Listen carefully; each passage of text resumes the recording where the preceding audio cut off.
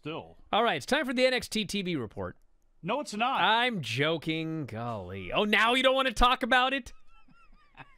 well, we had the Jericho Appreciation Society mandatory meeting. I tell you what, NXT had a lot better stuff than this. Sorry.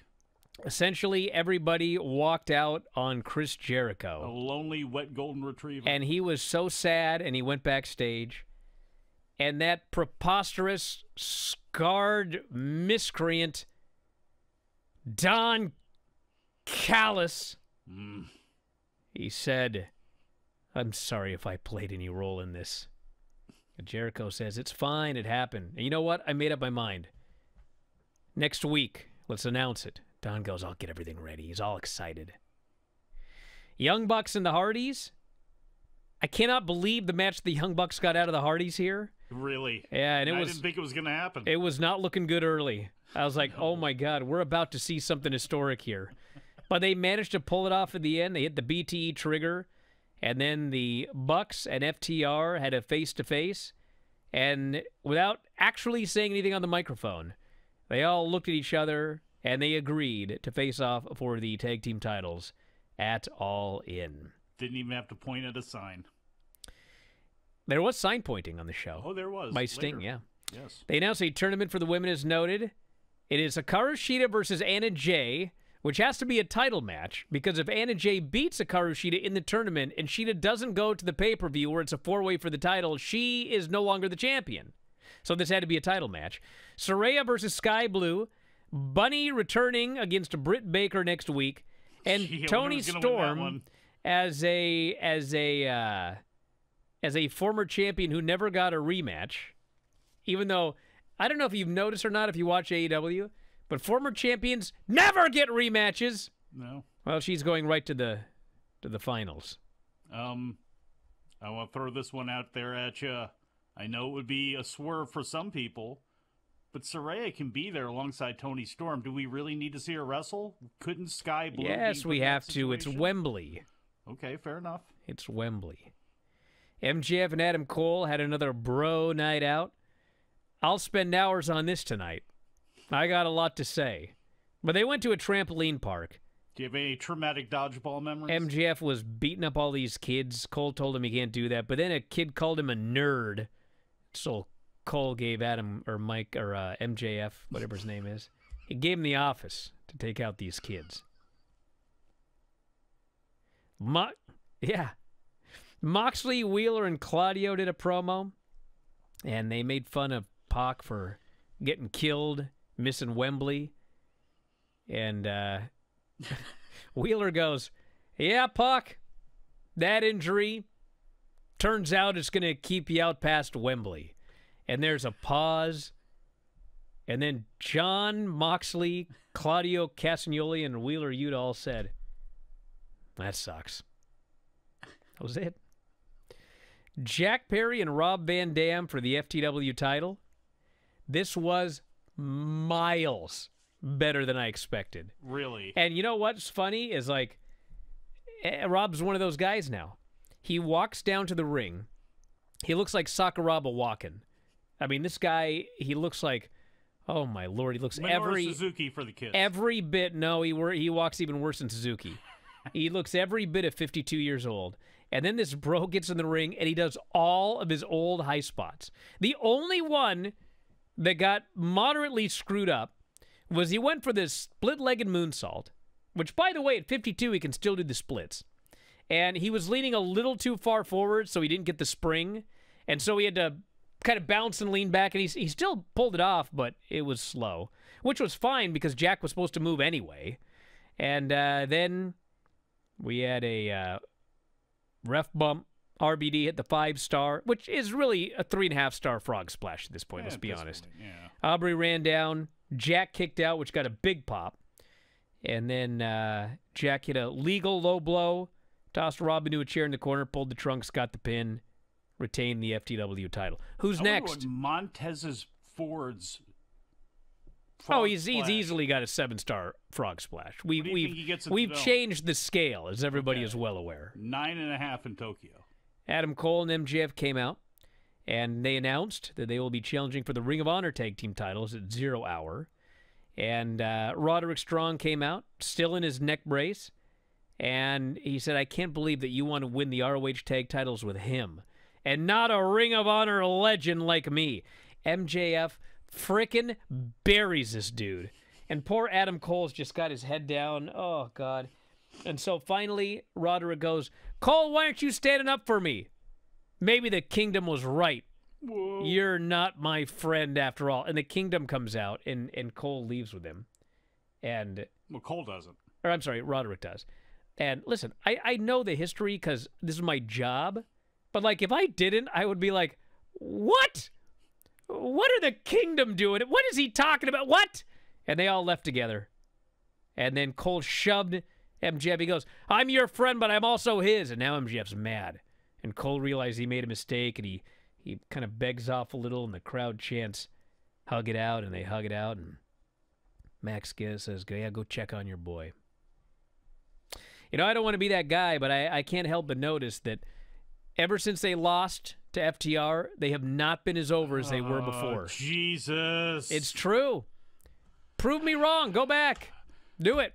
Just, I'm just you just keep going. I'm going to do rhythmic schism pounding on the mat Sorry. until you move on. I'm sorry. It's just a fact. It's just a fact. BCC beat the Lucha Bros. Somehow, and I cannot explain this, the key spot of the match and the finish was unmasking Penta, and they didn't film it. Y'all come here to see WCW? Moxley rolled him up, pinned him. They destroyed the Lucha Bros afterwards. They're going to get theirs at Wembley one way or the other. I think I that's hope so. clear. Kenny Omega, he'll announce his future, what he plans to do at Wembley next week. Mogul Embassy came out laughing about what they did to Nick Wayne. Darby comes out, and they did it. They had Darby demand an explanation because, uh, you know, this AR Fox is calling him a jerk. You never contacted me for five years after I let you live in my house. And uh, he goes, You know, I did try to call you. You never answered. I did try to help you. You wouldn't get the help. So, yeah, I walked away. And you know what? You did this by yourself. Congratulations to you. And now you're mad because I helped a 16 year old. I put a word in for him. He goes, "You whatever you do to me, whatever you say to me, I'll always I'll always give you credit for changing my life." But it looks like you got some new friends. I got friends too. Out comes Sting, gets in the ring, beating dudes up, ends up putting the baseball bat on Swerve's neck, points at the all in sign. It is Swerve and AR Fox versus Sting and Darby at Wembley. A match with an angle to set it up. So I that's good. This was great. Uh, Darby is And it's a coffin match. well. This writes itself, everybody. Of course. You haven't figured it out yet. Well, I love Darby Allin though. I love the way he works inside the ring because I don't have to take the bumps or be the person that he is darting into, and he has got a very natural way with the microphone where again you are he's Eddie Kingston the same sort of way. There's something believable. There's something relatable to them where even it's if it's the most ridiculous thing or even if they're bragging or whatever there's something relatable enough about it where again too, way too often it's you know somebody playing characters And the main event was Shida and Anna Jay. Yes, this was the main event of the show. Hikaru Shida and Anna Jay.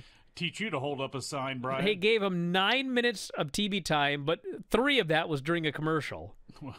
And then revolution not only that- slow, Bryan they had a, uh, and actually, you know, there was nine minutes of TV time, but they they went off. They they finished the match, I think, like two minutes early, so they got about four minutes of TV time for this main event, and the timing of the finish got screwed up.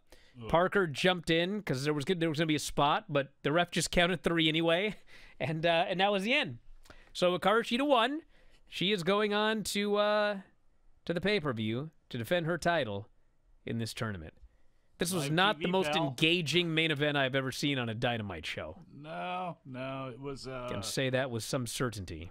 It wasn't an awful show, but there were again enough moments in it. There were a lot of bumps where, uh, again, there's there's a lot of time. I guess still two weeks left to go before All In, and you know they again need to tighten some things up because the last two weeks, last couple weeks, you can really point out some holes in the game. You know, I uh, I never really get angry watching AEW. I, I enjoyed myself for the for the two hours, but I will say it was a weird show, Yeah. and it was not the best Dynamite that I ever saw. There was some weird stuff that happened, but that's what happens.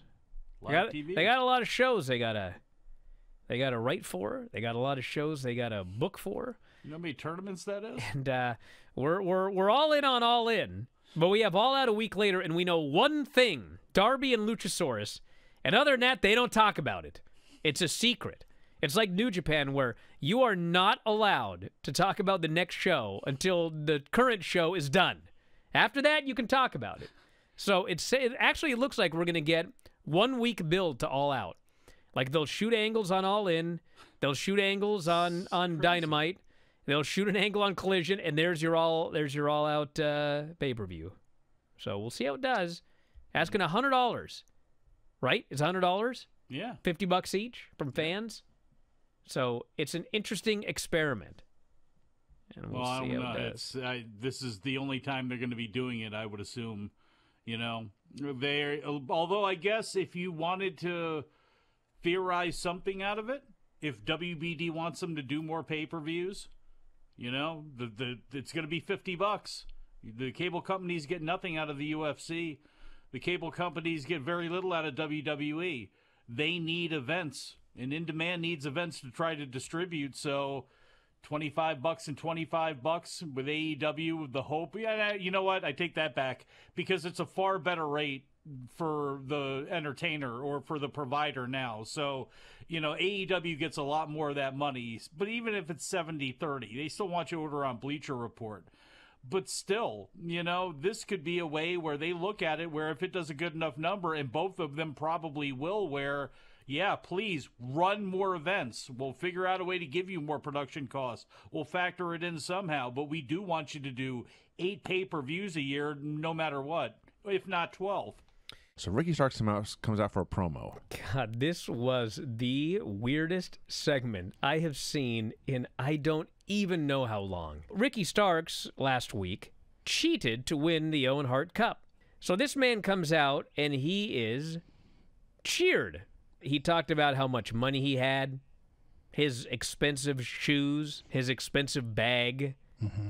He's rich, you see. So to review, if you cut a promo saying that you have expensive things like, oh, I don't know, a Tesla or a watch, and you only eat the finest steaks in the finest steakhouses, people might not like you. I have no what idea getting? what you're talking about. Hey guys, did you love this clip? If so, you should join our channel. Just hit the join button, and you'll have full access to every single show that we do Wrestling Observer Live, Wrestling Observer Radio, The Bryan and Vinny Show, all of them in full HD, full length, plus archives of all of your favorite shows. Click join today and don't miss out.